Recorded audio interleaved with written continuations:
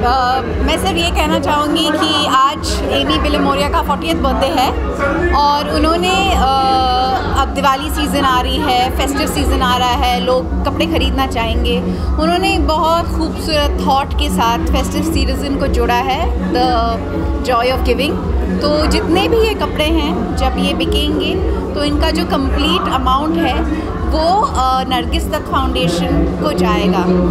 Amy and my wife अदरिमा वो लोग नज़दीक हैं। मैं इतना जानता नहीं सबको लेकिन I have always heard good things about her और उनका forty birthday so first of all very very happy birthday to her और ये नवीज़त फाउंडेशन के लिए यहाँ पर आज uh, ये शो हुआ है।